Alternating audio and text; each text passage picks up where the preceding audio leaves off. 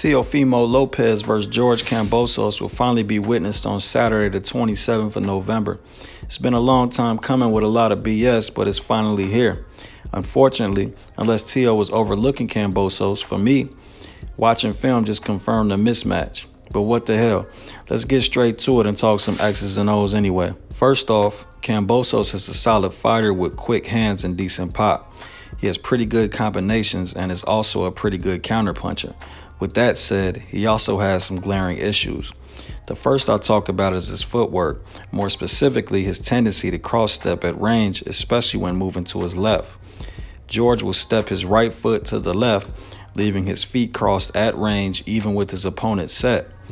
The cross step is potentially a balance issue, meaning you can easily be knocked off balance depending on your opponent's actions. It also clearly limits your ability to evade with all your weight on the back foot before you complete the full step by moving your front foot again.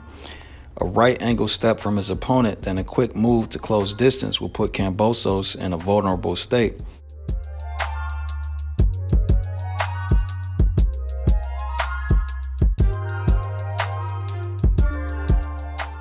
You also have the chance to easily be tripped depending on where your opponent puts his lead leg when he attacks.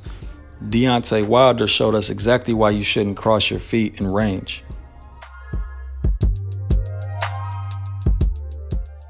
Kambosos shouldn't be able to get away with in-range cross steps on the pound for pound level. Plus we have seen Tio burst inside with quick footwork and faster punches so we know he's capable of taking advantage of the bad habit.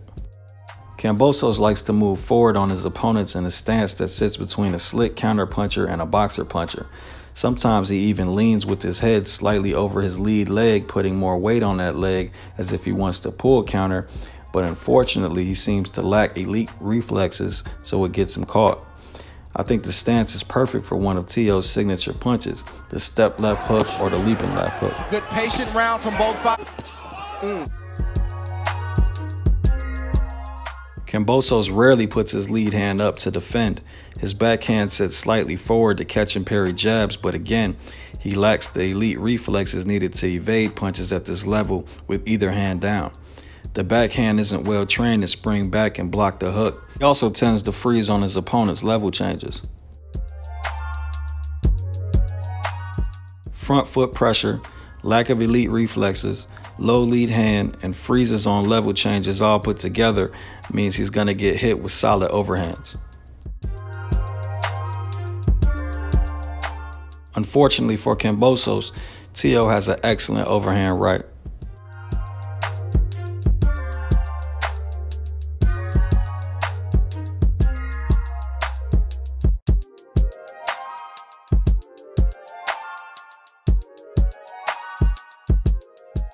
Tio was also very good at timing and pattern recognition. We saw him read the raised lead hand tail and eventually time Nakatani's jab with outside slip two crosses.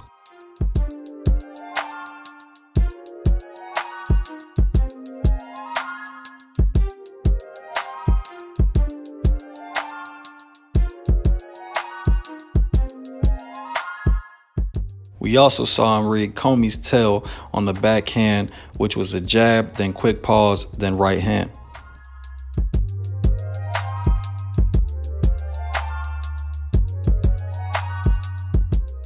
Two.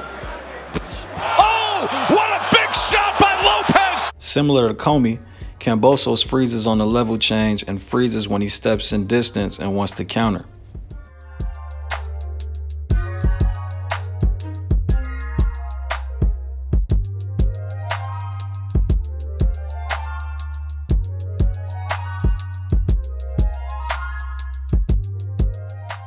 George also has a tail on the cross step, which is a pre-slip left and raised lead glove.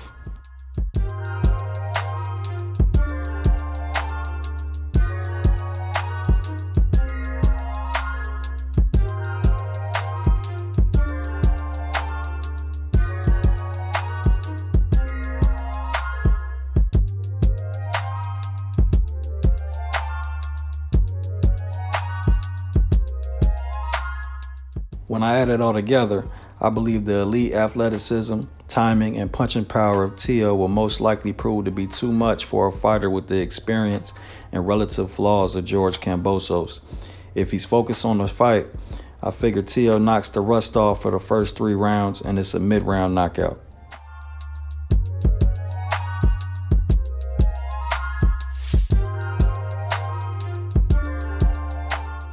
Since it's such a short breakdown for this fight, I figured I'd combine put your money where your mouth is with the breakdown, so let me hit you with the disclaimer. Gamble at your own risk. This is not gambling advice. I'm not a professional gambler. I'm just a stranger online betting money on my own prediction. Absolutely anything can happen in boxing, so no bet is a sure thing. So I said Tio knocks the rust off and gets a mid round knockout. Looking at these numbers, I see odds makers are thinking TO by KO, so there isn't much money for the overall KO or the group rounds. I'll take very small straight bets on TO by KO for rounds 4, 5, 6, and 7. I'm betting with my affiliate BetUS, who has a few promotions going on that allow you to bet with the house money. Links in the description. Let me know what you think of the breakdown or the fight, and let me know what your bets are in the comments section. Good luck, and thanks for watching.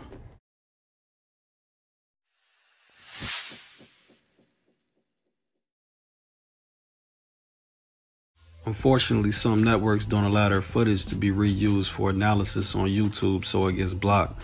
So everything that they block, I put on Patreon along with all my other content. Become a patron and don't miss a thing from Boxing Gems.